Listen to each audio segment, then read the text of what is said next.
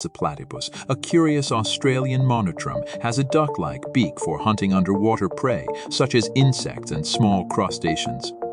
Despite being a mammal, it lays eggs and has venomous spurs on its hind legs for self-defense.